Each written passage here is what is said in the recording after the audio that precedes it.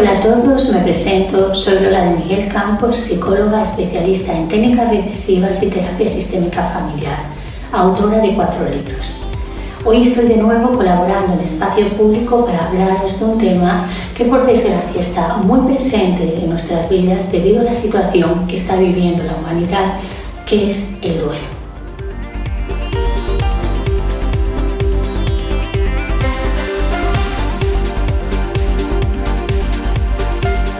La verdad es que nadie está preparado para gestionar la muerte.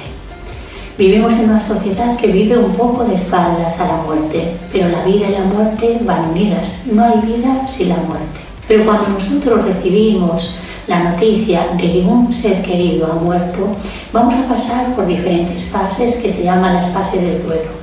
Es necesario transitar todas y cada una de ellas para no vivir lo que se llama el duelo congelado.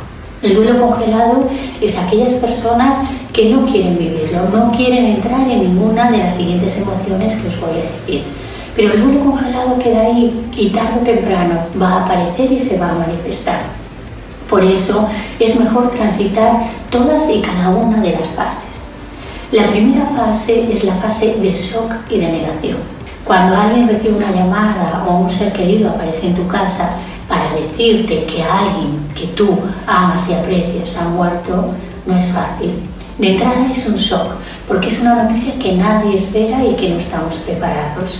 Entonces, hay otras personas que entran en un proceso de negación. No, no, no, no, no, estás equivocado, no es esta persona, probablemente se hayan equivocado en el diagnóstico, es otra persona. Una vez superado ese shock inicial, entramos en la fase de rabia, enojo y enfado. ¿Por qué a mí? ¿Por qué a mí me tiene que pasar esto? ¿Por qué la vida me hace esto a mí? Y muchas veces las personas que son creyentes dicen, pero ¿por qué Dios me castiga de esta manera? Nos enfadamos porque lo vivimos internamente como una gran injusticia que la vida o Dios o el universo comete con nosotros. Una vez que pasamos esta fase de enojo, llega la siguiente fase, me muero de dolor ya la noticia está ahí, ya es inevitable, entonces sentimos un profundo dolor por la pérdida de este ser querido. Y no es malo, muchas personas intentan a través de la pastilla aliviar este dolor.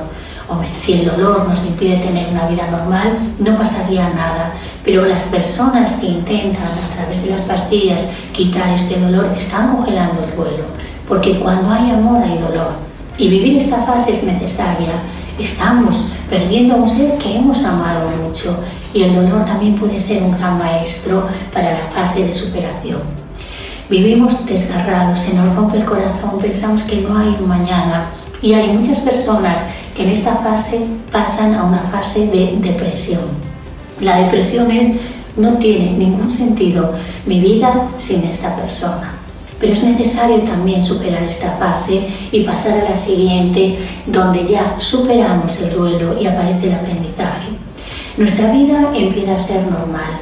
Empezamos a acostumbrarnos a vivir sin la presencia de esa persona, empezamos a recuperar viejos hábitos y a recuperar nuestra normalidad y nuestro día a día.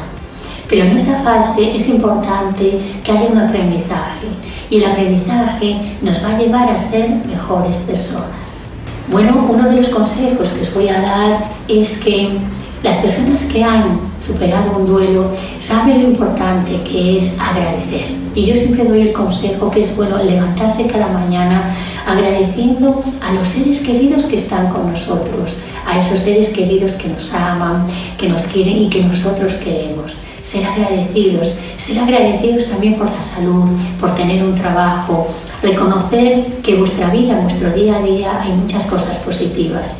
No os focalicéis en lo negativo, agradecer todo lo positivo que hay y entonces seréis mejores seres humanos, mucho más sensibles y más empáticos.